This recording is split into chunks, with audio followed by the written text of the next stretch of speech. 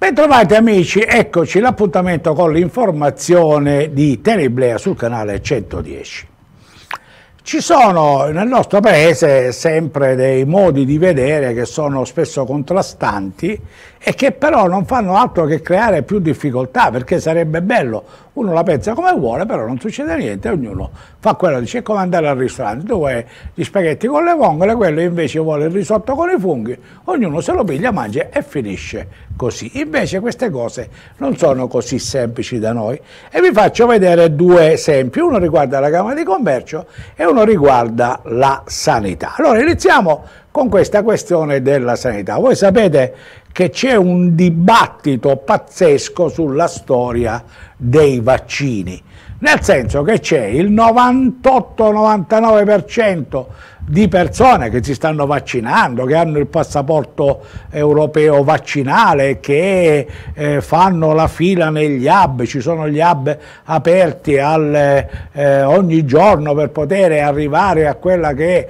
la vaccinazione totale delle persone e poi, poi da un'altra parte c'è un, uno sparuto numero di persone che sono anti-vax, alcuni medici che dicono addirittura che non, non è giusto vaccinarsi per la libertà delle persone, eccetera, eccetera. Tutto questo eh, purtroppo crea una difficoltà. Perché?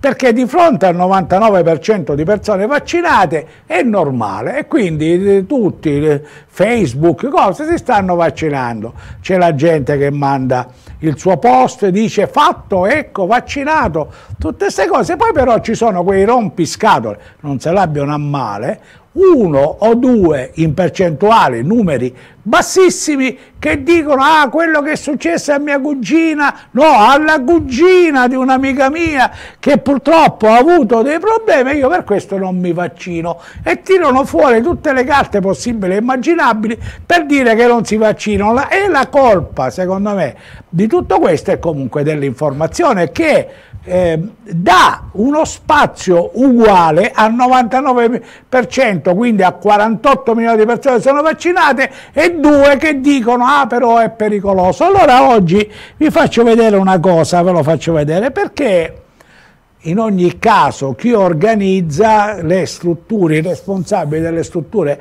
sanitarie devono eh, barcamenarsi. Allora eh, sono arrivati dei comunicati a, a, chi, a, chi, lavora nel mondo della sanità in cui dice, che, e vi faccio anche vedere la parte interessata è in giallo, dice non è stato registrato alcun cambiamento nella modalità di trasmissione del Covid, soprattutto con questa variante Delta. Non, non neanche detto che sia più eh, pericolosa, però vi possiamo dire che ha una maggiore diffusibilità, parola un po' particolare. A questo punto dice però considerato che anche i vaccinati possono infettarsi di Covid, noi cosa facciamo? Vi preghiamo di, eh, di continuare ad utilizzare i sistemi, quelli appunto, i sistemi di protezione DPI raccomandati dalle linee guida. A questo punto, quando l'ASP dice eh, però mantenete la mascherina, mantenete tutte queste cose, perché questo, eh, il vaccino, come abbiamo visto, non vi blocca, il, no, non impedisce di essere eh, colpiti dal, dal, Covid, molto meno, però può capitare. Conosco persone che l'hanno preso anche con due, due dosi, magari non erano ancora trascorsi i giorni giusti, e, e, allora ecco che i Novax avete visto, quindi allora era meglio non vaccinarci e che cosa abbiamo fatto? Tutto questo ingenera confusione. E poi ci sono anche quelli che dicono ah ma porca miseria non si può eh, costringere la gente a vaccinarsi. Io dico che se tornassimo indietro, io ieri vedevo un documentario sulla spagnola nel 1918, allora pensate che eh, eravamo anche in guerra, quindi c'era il divieto di parlare di eh, spagnola perché già ne avevamo tanta racina appesa con la guerra, quindi pensate se parla, parlavamo di spagnola. Però se allora ci fosse stato un vaccino, voi pensate che qualcuno avrebbe detto no, non mi vaccino perché sai, non si sa mai, e, ed erano milioni di morti, milioni di morti con una guerra in mezzo. A questo punto cosa facciamo? Questo è, è il, dobbiamo assolutamente, dobbiamo assolutamente combattere anche questo sistema, il sistema che eh, ci mette in difficoltà per poter viaggiare meglio, per poterci muovere meglio, per essere più sicuri nel futuro. L'altra cosa, cosa, di cui eh, parliamo, proprio per capire qual è la situazione di confusione che abbiamo in Italia, è la questione delle Camere di Commercio. Le Camere di Commercio ci siamo ammazzati, ci siamo ammazzati, abbia, abbiamo venduto la Camera di Commercio a Catania per qualche posto all'aeroporto di Comus, all'aeroporto di Catania, per fare un vicepresidente, per fare... abbiamo venduto la Camera di Commercio, abbiamo venduto la migliore organizzazione che c'era in tutta la Sicilia come Camera di Commercio, l'unica che non aveva debiti, l'unica che funzionava, l'unica che camminava come si deve e l'abbiamo venduta ai catanesi perché i catanesi volevano eh, tutte le quote dell'aeroporto di Catania per fare l'operazione della vendita. Dice, ah ma come fai a dire queste cose? Vabbè, non sono vere, mm, però io le dico, nel senso potrebbe essere questo. E quindi ci troviamo tutti quelli che allora erano nella, nella eh, direzione della Camera di Commercio, ce ne troviamo chi alla SAC, chi alla SOACO, chi in altri, tanti altri posti. Ora che cosa è successo? Che è passato uno, un emendamento lì a, al governo nazionale in cui c'è scritto che possiamo spiccicare le Camere, cioè le possiamo possiamo mettere Siracusa e Ragusa eh, da soli in confronto con Catania, quindi Catania da sola e Siracusa e Ragusa dall'altra parte. Allora, la cosa, guardate che eh, è molto confusionaria, perché ho chiesto in giro e nessuno sa cosa potrebbe accadere. Quindi noi che in qualche modo ci eravamo abituati a questa situazione delle camere di commercio, le tre camere di commercio unite, la super cazzo, la super camera di commercio eh, Ragusa, Catania, Siracusa, ora dovremmo ritornare indietro riorganizzare tutto con Siracusa e Ragusa quando poi i soldi di Ragusa probabilmente se li sono già presi, li hanno messi nella cassaforte catanese, quando i nostri sono già andati a, a occupare posti importanti, allora che succede? Che appena dividiamo Siracusa e Ragusa e Catania, magari qualcuno che fa il presidente alla SAC lo sbolognano perché dice scusa quanto conti a questo punto, oppure altre cose. Quindi vi immaginate quello che succederà. Poi quello che mi preoccupa è l'organizzazione, come fai a organizzare in questo modo? E alla fine, se mi permettete di dirlo, le Camere di Commercio non servono più a nulla. Eh sì, perché abbiamo cancellato tutto. Oggi per esempio ho avuto la prova provata, come si, come si suol dire.